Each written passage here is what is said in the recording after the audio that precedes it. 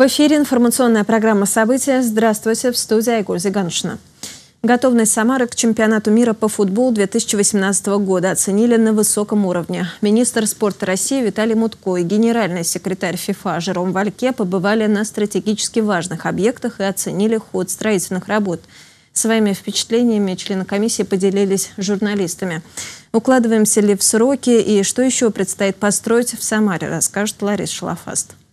Оценивать подготовку Самары к чемпионату по футболу генеральный секретарь ФИФА Жером Вальке начал в новом терминале аэропорта Курумыч. Он сможет обслуживать более трех с половиной миллионов пассажиров в год и почти полторы тысячи в час. Площадь терминала в четыре раза больше прежнего. Новый самарский аэропорт сможет принять всех туристов и болельщиков в 2018 году. Также вместе с министром спорта России Виталием Мутко и губернатором области Николаем Меркушкиным Жером Вальке посетил площадку строящегося стадиона. Сейчас в основании будущей арены заливают бетон. К возведению стен планируют приступить осенью этого года. В график укладываются. Стоимость Самарской космос-арены составит порядка 16 миллиардов рублей. В целом степень готовности Самары к проведению чемпионата мира гости оценили высоко. Это один из наших самых надежных регионов и с точки зрения подготовки к чемпионату мира. Мы рассчитываем, что э, Самара будет такой жемчужиной э, в проведении чемпионата мира, потому что здесь прекрасный город, хороший регион, очень большая агломерация. Чтобы в областной столице не было дефицита с местами в отелях, к чемпионату построят еще две гостиницы.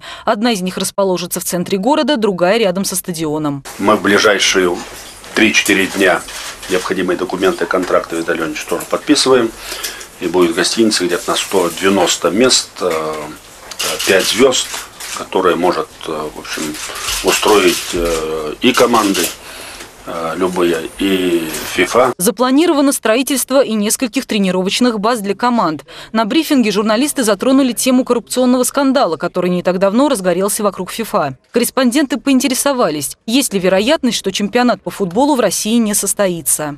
Моя команда участвовала в жеребьевке стран на право проведения чемпионата. И я могу с уверенностью заявить, что были соблюдены все процедуры и все правила. Нарушений не было, а значит, нет оснований что-то отменять. Здесь э, я никаких проблем не вижу. Наша сила в том, что мы этого хотим, мы едины. Мы сегодня э, футбол в России очень популярен, э, его любят. Да, мы не такие большие успехи, может быть, в футболе, там, в самой игре достигаем, но и то у нас люди надеются на чудо, как жахнем всех в 2018 году. Вот на что. Excuse me. Следующее заседание оргкомитета пройдет во время предварительной жеребьевки команд, которая состоится в Санкт-Петербурге в июле. Представителям футбольных команд презентуют электронную версию баз проживания на время проведения чемпионата. Лариса Шалафаст, Павел Пресняков. События чемпионату мира в столице региона капитально ремонтируют основные магистрали. Строительство подземных переходов на Московском шоссе ускорено. Движение по всем полосам откроют уже к началу учебного года. Такое решение было принято по итогам совместного выездного совещания главы городской администрации Олега Фурсова и представителей областного Минтранса. Открытие подземных переходов на Московском шоссе с нетерпением ждут все жители города. И автолюбители, и особенно пешеходы. Ради комфортного и безопасного перехода дорог в будущем горожане готовы потерпеть временные неудобства. Переход нужен, потому что движение интенсивное, и светофор сейчас, сейчас сломается. И поэтому переход просто будет еще Мне кажется, нужно, чтобы меньше пробок было. Людям легче на работу добираться будет. Вот.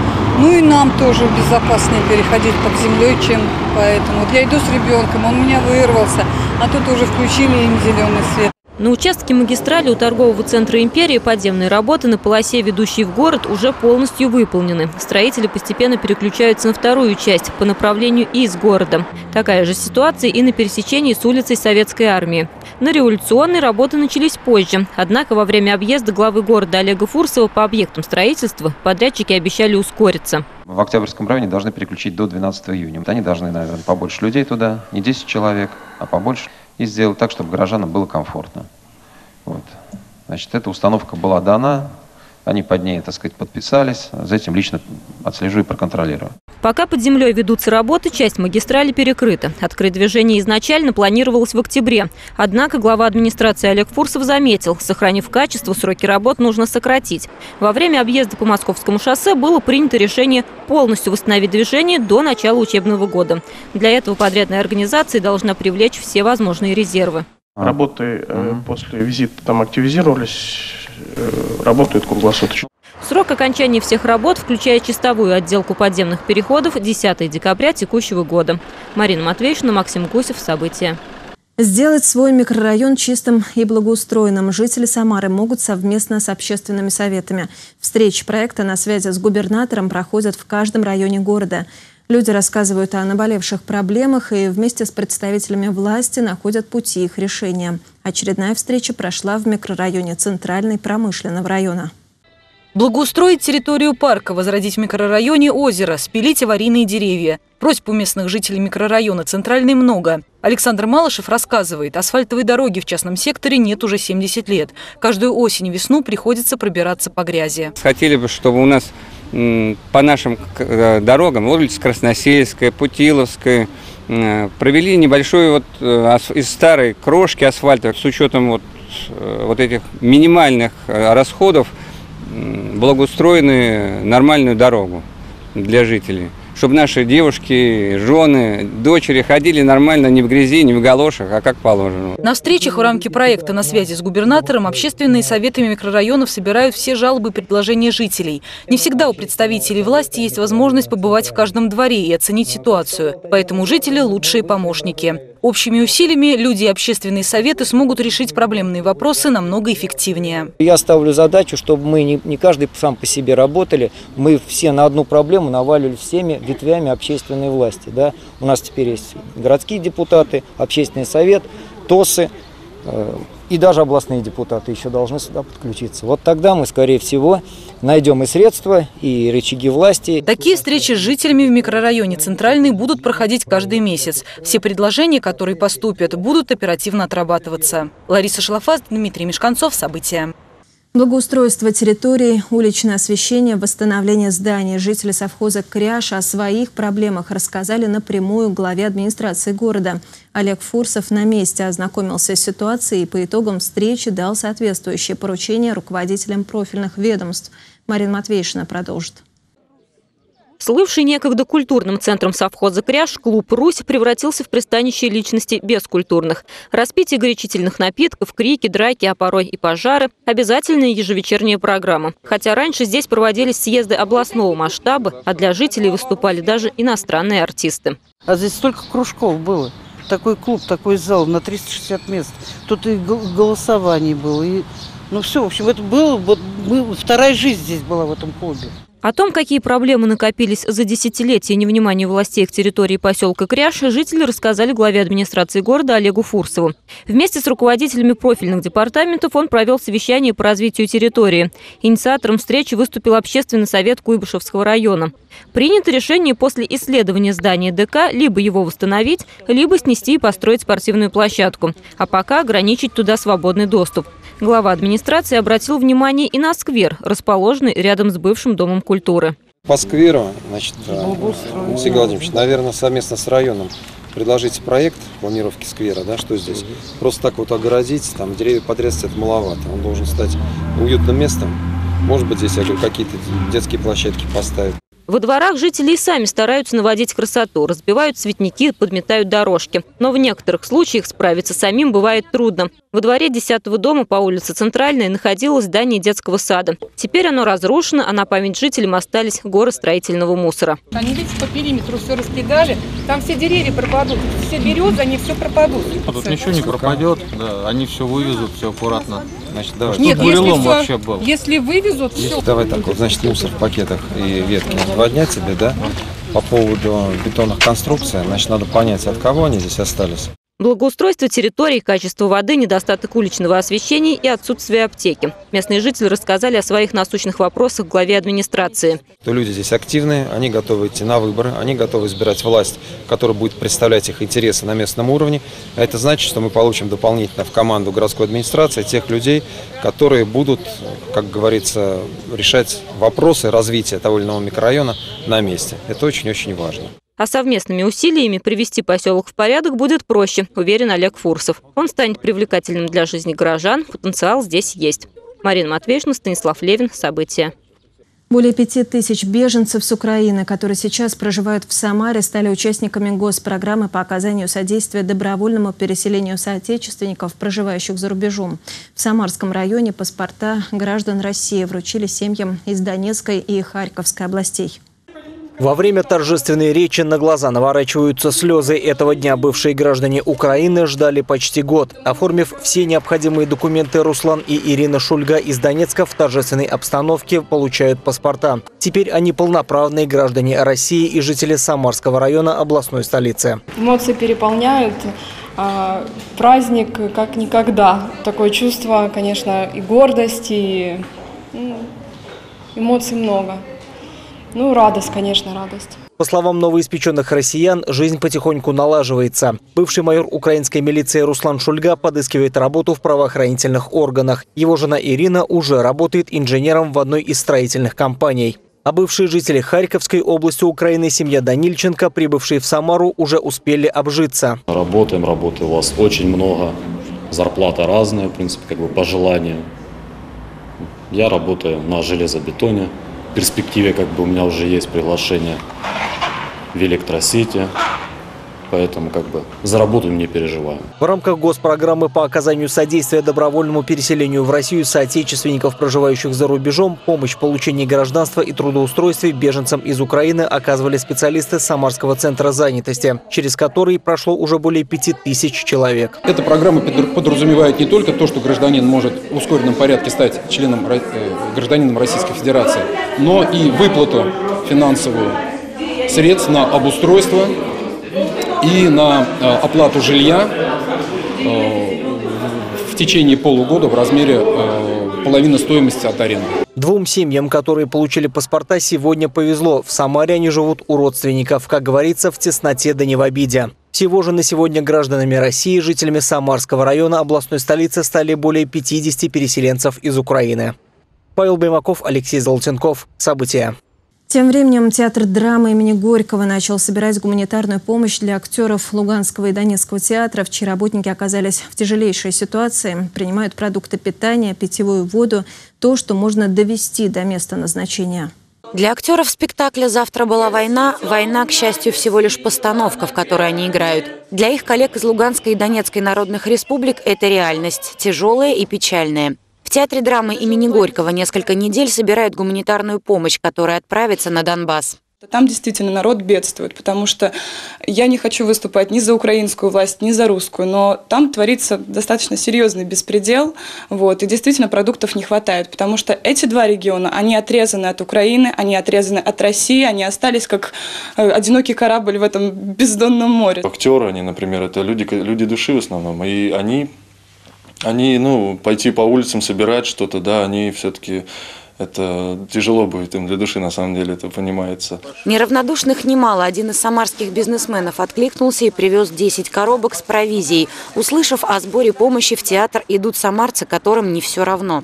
Крупы, консервы, конфеты, даже простая питьевая вода – все, что может преодолеть путь в двое суток и не испортиться для актеров Луганского и Донецкого драматических театров, которые попали не просто в трудную ситуацию, а оказались на грани выживания. Здесь лежат макароны, э, печенье, конфеты, гречка, рис и так далее.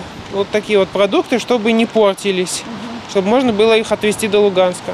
Мы можем помочь и должны это сделать, говорит главный режиссер театра драмы Валерий Гришко. Луганские актеры в последний раз зарплату получали в октябре. Большинство из них не могут платить за квартиры и живут целыми семьями в театре. Свои должны помогать своим. Мы в данном случае актерам, у которых, как мне э, ребята сказали, там дети в голодный обморок падают. Вот приносят какие-нибудь там девочки, говорят, вот бабушка передала. Как правило, передают не богатые люди, а те, кто познали, что такое нужда. Машина с грузом отправится через пару дней, но вести полупустую стыдно, говорит Валерий Гришко. Актеры просят всех, кто хочет и может помочь, приносить продукты на вахту театра. Мариана Мирная, Станислав Левин. События. Бескорыстно помогать людям будут самарские школьники. В областной столице планируют возродить знаменитое Тимуровское движение. Решение было принято на заседании Координационного совета по патриотическому воспитанию граждан. Единая атрибутика, устав и даже массовые сборы – все это ждет ребят уже в новом учебном году. Тайком натаскать воды, сложить дрова и разобраться с местными хулиганами. Так советские школьники помогали семьям красноармейцев, больным и пожилым людям в фильме «Тимур и его команда». Легендарное кино по книге известного писателя Аркадия Гайдара снимали в 1940 году в Куйбышеве. Как только произведение вышло в свет, воодушевленные школьники стали называть себя тимуровцами и безвозмездно помогать людям. На родине тимуровского движения и сейчас должны быть отряды ребят, готовые на благородные поступки, уверены участники Координационного совета по патриотическому воспитанию. С идеей возрождения тимуровцев выступил Виталий Добрусин. Мне кажется, что вот то, что мы можем сделать в этом году в Самаре, в Куйбышеве, это может дать, э, стать точкой отсчета для того, чтобы тимуровское движение уже возродилось в масштабах всей России. Для тимуровцев 40-х годов помощь нуждающимся была в первую очередь увлекательной игрой в добро. Сегодня, уверены участники Координационного совета, важно преподнести школьникам тимуровское движение так, чтобы заинтересовать ребят, а не заставить. Романтизм гайдаровской книги, он, конечно, здесь должен быть на первом месте. Целый ряд каких-то э, будет продуманных шагов, э, пока еще не буду раскрывать всех секретов, это, конечно, наверное, будет и э, элемент такой соревновательности, элемент военной тайны, может быть, в чем-то, да, это, конечно, э, будет и эм, ощущение приобщения, да, к каким-то таким высоким ценностям. 25 лет назад Тимуровское движение в Самаре перестало существовать. Сегодня помощь ветеранам, больным и пожилым людям оказывают волонтеры. На Самарской земле добродетель в почете. Волонтерское движение здесь одно из самых мощных в стране. Во многом волонтерское движение как раз выросло из Тимуровского. И вот сегодня придать э, этому Тимуровскому движению новое звучание, да, взять что-то хорошее из прошлого, посмотреть те практики, которые наработаны э, вот за, за последнее время в новейшей истории. И обязательно должна какая-то быть идеологическая составляющая. На первых порах Советом принято решение показывать в школьных лагерях фильм «Тимур и его команда» и документальное кино о Тимуровском движении. Видео появится и на сайтах профильных ведомств. Далее в планах создание первичных отделений тимуровцев и открытие музея. В ближайшее время будет объявлен конкурс на лучший вариант атрибутики для нового движения. А в декабре школьники уже смогут отправиться на первый тимуровский слет. Алина Чемерес, Дмитрий Мешканцов. События.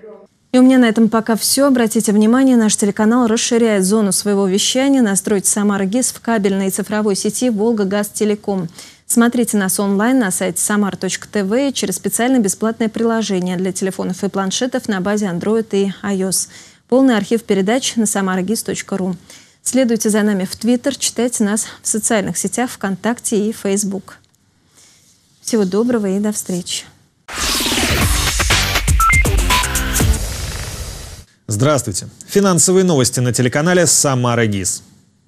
У АСВ, похоже, закончились деньги на компенсации по вкладам в обанкротившихся банках. Организация может обратиться к Центробанку за кредитом на сумму до 110 миллиардов рублей на срок до 5 лет. Фонд страхования вкладов был опустошен после недавнего отзыва лицензии у банка «Транспортный» с объемом вкладов 42 миллиарда рублей. Избежать необходимости получения средств от Центробанка можно, если удастся получить какие-то средства от ликвидационных процедур. Как отметили в АСВ, условия получения ликвидности от Центробанка согласованы, но брать деньги про запас не планируется. А теперь представьте, сколько было черных банков в стране, если даже АСВ чуть не обанкротилась. В работе национальной системы платежных карт произошел сбой из-за проблемы в работе одного из приложений программного обеспечения. Операции по картам обслуживались с перебоями в течение 20 минут, примерно с 13 часов 9 минут до 13 часов 38 минут. Нештатная ситуация связана с некорректной обработкой скрипта в одном из приложений программного обеспечения. В этот период некоторые клиенты могли испытывать сложности при проведении операций по карточкам. Представители банков заявили, что не фиксировали массовых жалоб. Мне вот как-то винду на компьютере переустановили кривыми ручками. Так и то проблем больше было. Иностранные туроператоры, работающие в Греции, решили подстраховаться на случай банкротства этого государства. На днях они обратились к местным ательерам с требованием включить в договоры новые пункты, гарантирующие отсутствие требований штрафов с заказчика на случай снятия брони. Организаторы международных мероприятий включили банкротство отдельным приложением к контракту. Говорят, что от Греции требуют поднять налоги, чего страна сильно не хочет. А вообще все эти греческие метания больше похожи на шантаж, ну, чтобы Евросоюз не наседал. Российский фондовый рынок открылся в среду слабым ростом. Индекс ММВБ в плюсе на отметке 1664 пункта. Среди лидеров роста аптечная сеть 36,6, КАМАЗ, Сбербанк, Полюс Золото и МВидео. В аутсайдерах Мечел, Интеррао, РДР Русала, ТМК, ВТБ и ПИК. К открытию торгов в России сложился умеренно позитивный внешний фон. Американские индексы не показали существенных изменений. Азиатские рынки торговались в плюсе. Фондовые индексы Европы во вторник незначительно снизились. Курс доллара на 10 июня 55 рублей 91 копейка. Курс евро 63 рубля 7 копеек. Золото стоит 2122 рубля за грамм. Серебро стоит 28 рублей 99 копеек за грамм. Цена нефти марки Brent 66 долларов 13 центов за баррель. На сегодня это все. Удачи в делах.